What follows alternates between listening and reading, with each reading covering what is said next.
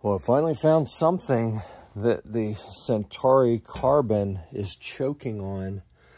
You can see this phone case did not complete printing, but it says printing completed. Yeah.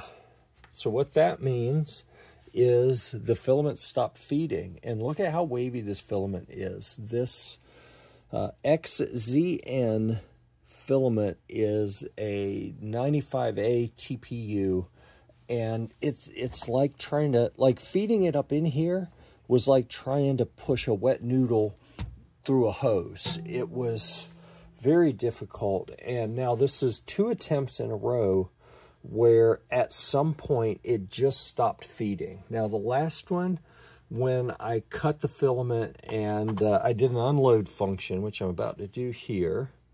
Let's see, we'll go to extruder and do unload.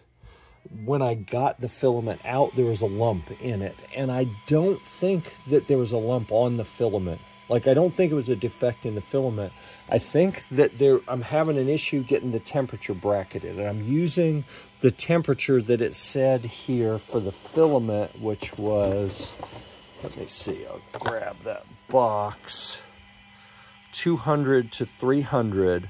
I had it set at, I believe it was set at either 210 or 215. I don't remember, but well, like right towards the middle of that range.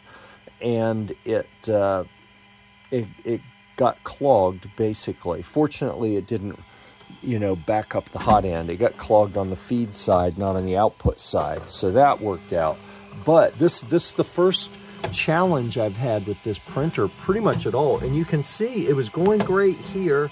And then I said, all right, I wonder, since it got clogged uh, on the input side, I wonder if it wasn't warm enough. So I bumped the temperature up five degrees and it got a little stringy and five more degrees just to see what happened. It got super stringy. So I set it back. I think it was like uh, two, 15, 2, 210, 215, 220. So I set it back to 210 and it finished out, but then it had a problem. So um, maybe I'm just trying to get the temperature dialed in. I hadn't figured it out yet. Maybe if I run it again and just leave it at the same or drop it down to 205 maybe. I think I'm going to try that. That was the one option.